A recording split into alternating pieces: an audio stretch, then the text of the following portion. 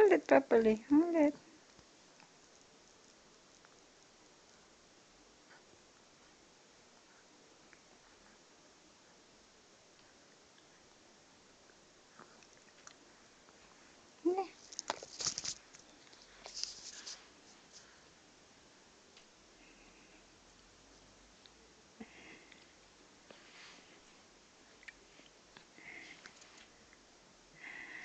Basta na guna bibyo eh.